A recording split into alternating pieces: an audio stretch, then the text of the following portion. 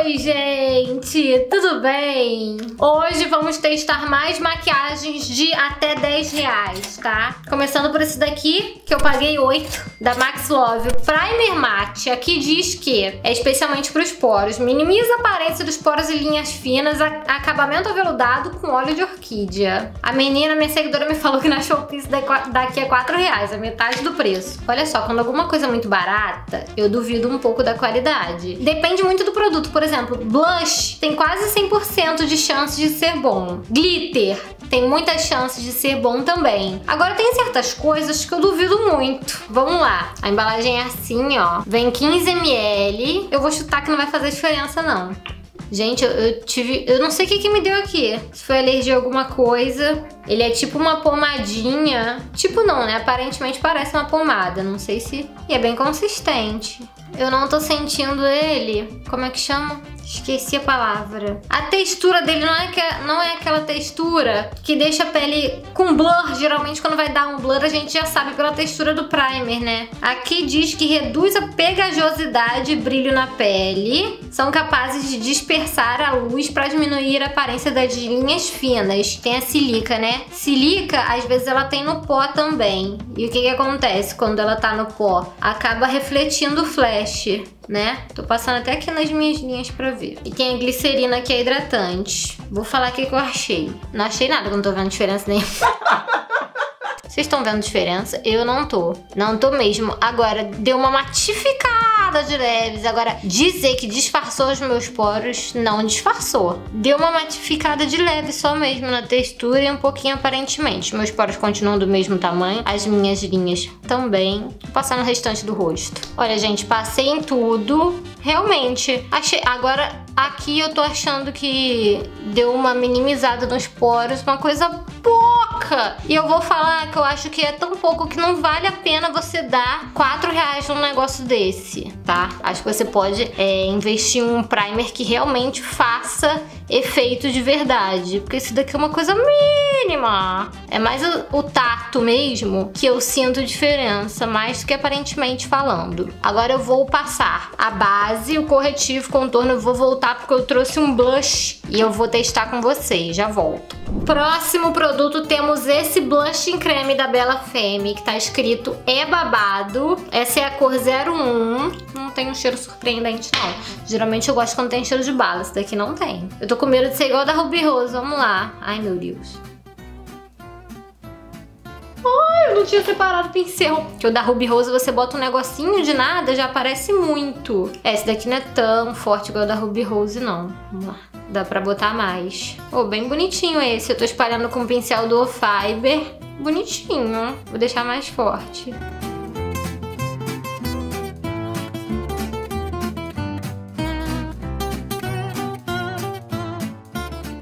Gostei, hein? Ele é fácil de esfumar, não mancha, não tô achando que mancha. Geralmente tem, tem blush assim nesse formato que fica com a cara toda manchada. Gostei aqui, a diferença. Uma graça. Nossa, esse vale, esse vale. Eu gosto de blush assim, por exemplo, se eu for viajar pra praia, eu uso assim. Porque dá a impressão de natural, né? De bochecha natural. Bem saudável. Adorei esse. Esse daqui tá aprovado, hein? Vamos lá, o próximo é esse pó aqui da, da Pop, que ele é um pó translúcido corretivo. Então tinha de vários tons. Tinha roxo, tinha verde. Vocês lembram que tinha o, o corretivo, corre... Uh, o corretivo corretor, com cores de correção, né? Então, geralmente o verde a gente usa para as espinhas, o amarelo nas olheiras. Vamos ver esse rosa para que que é. Eu vi na Shopee, eu peguei o rosa por algum motivo específico, agora qual eu não lembro. Ele custou 6 reais, tá? Ó, são seis tons diferentes que ajudam a neutralizar manchinhas, espinhas, olheiras, melasma, rosácea. É fininho, segura a oleosidade da pele à prova d'água, não estoura no flash e deixa um acabamento aveludado lindo na pele. O tom rosa é indicado para disfarçar espinhas inflamadas e manchas amareladas. O azul para neutralizar manchas alaranjadas. Ou, ou será que é só para passar em cima exatamente? Será que eu vou usar isso errado? Agora eu tô pensando, será que eu deveria ter passado antes da base. Meu Deus, será que eu cometi uma gafe? Como usar pó corretivo? Não tem nem isso. Eu acho que esse é um produto que as pessoas quase não usam. Eu sei que tem a Marina. Como é que é? Marina do Too Beauty. Ela é muito antiga, eu acompanhava muito o blog dela. Ela tem um pó corretivo que ela lançou, que vendia até na Sephora. Se eu não me engano, é Marina Too Beauty, um negócio assim. Ó, abri aqui, tá lacrado, na real. Ó, gente, eu abri aqui, mas, cara, pra mim, não sei se isso daqui é muito útil, porque geralmente quando a gente passa a base, o corretivo, já cobre basicamente o que a gente precisa. Igual agora, eu já passei e já cobriu, né? Eu, tava, eu tô com isso daqui inflamado, acho que é uma alergia de algum produto que eu usei, porque ardeu quando eu passei o negócio no rosto. Então acho que me causou uma, uma alergia. Eu poderia testar em cima disso, só que basicamente a base que eu passei cobriu. Vamos ver. Pô, parece que o negócio apareceu Parece que deixou foi evidente meu negócio aqui. Não sei, gente. Tem um dosador aqui. A ideia é legal, porém, ele não é o mais fininho dos pós. É um rosado meio esbranquiçado, tá vendo? Eu acho que quem tem a pele rosada consegue até usar no rosto todo, sabia? Olha, dá pra usar de boa. Aqui eu acho que dá pra usar no rosto normalmente também. Por exemplo, quem tem o tom de pele oliva, né, que é verde, fundo verde, consegue usar talvez porque eles têm um fundo meio claro, né? Agora vou te falar, achei meio, não sei, meio inútil. Tanto é que a gente quase não vê, né? Vendendo por aí e a gente quase não vê as marcas lançando pó assim. Não sei, talvez eu tente usar de outras formas depois, mas para mim não faz sentido usar o pó antes da base, antes do corretivo. Para mim o pó é para selar. Então se é para selar é depois. Bom, esse daqui eu vou deixar no purgatório, que eu ainda não decidi. Não posso falar que eu amei nem que eu odiei, porque tá uma interrogação na minha cabeça a respeito desse produto. Agora vamos pro próximo. Esse daqui, ó, que foi 10 reais essa paleta. Coleção Stones. É a cor turquesa. Tinha verde, tinha turquesa. E eu acho que tem também a vermelha. É de qual marca? Playboy? Playboy, é da Playboy. Gente, validade setembro de 2022, junho. Julho, agosto, setembro. Pô, só tem três meses pra usar isso? Será que tava barato por causa disso, gente? Sacanagem. Agora, o que eu achei, tem só um tom mate e o restante é cintilante. Ou seja, dificilmente eu vou conseguir usar todos os tons nos olhos. Porque como é que você vai usar pra fazer uma transição de esfumado, tom cintilante? Eu não costumo usar. Não, tô indignada com essa validade aqui. Vou usar o spray aqui no rosto pra tirar esse aspecto de pó e já volto pra gente usar a paleta. Pera aí.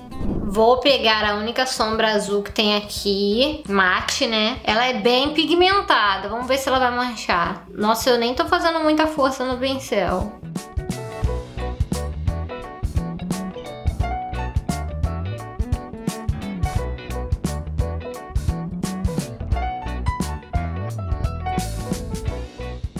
Gente, eu não tô achando difícil de fumar, não. O azul em si, ele é uma cor meio complicada, né? O azul, outras cores também como bordô, roxo. Eu tô tirando a pressão do pincel aqui, perto da sobrancelha, pra ficar mais clarinho. Não tô achando ruim de esfumar, não.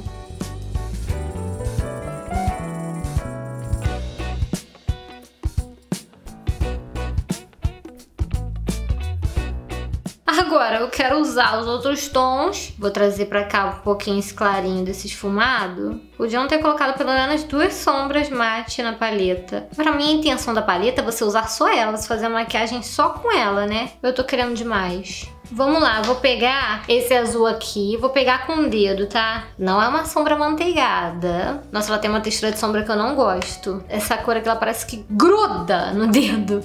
Não é uma cor que eu acho fácil de transferir pra pálpebra. Principalmente com pincel. Se você usar pincel pra aplicar essa sombra assim nessa textura, você tem uma maior dificuldade. Agora a gente vai... Essa daqui.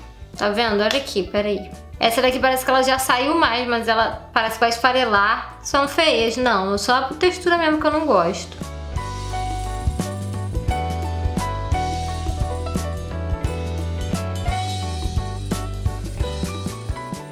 Deixa eu ver que nota que eu vou dar pra essa paleta. Um 8. Por causa da, das sombras mesmo. Pra mim poderia, como eu falei pra vocês, ter mais sombras mate e a textura também.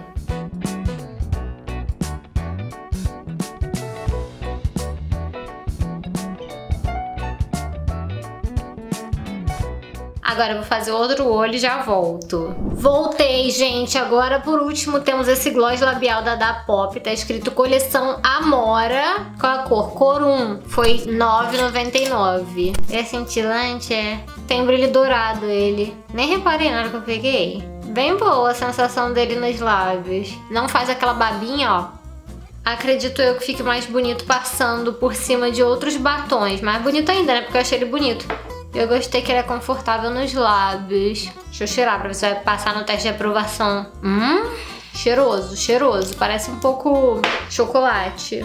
Vamos lá, a maquiagem ficou assim, tá, gente? Minha cara tá branca demais pro meu gosto. Será que eu usei a cor errada da base? Eu devo ter usado. Vou fazer a ordem do melhor pro pior. Qual mais gostei? Blush. Eu amei esse blush. Gostei do gloss em segundo lugar. Terceiro lugar, a paleta. Quarto, esse pó aqui que pra mim ainda, ainda vou botar ele lá, na, como eu falei pra vocês, tá no purgatório. Tô refletindo a respeito dele. Acho que eu vou tentar usar de outras formas. Me contem se vocês têm esse pó aqui. E por último, esse primer aqui que eu já sabia que ia me chatear com ele, né? Ele não fez muita diferença pra mim. Então eu acho que, no geral, se for comparar esse vídeo com outro que eu fiz, se você ainda não assistiu, assista lá. Testando maquiagem de até 10 reais. Esse daqui foi melhor. É, deixem aí nos comentários se vocês têm algum produto desses. Deixe o seu like pra eu saber que você gostou desse tipo de vídeo. Um beijo.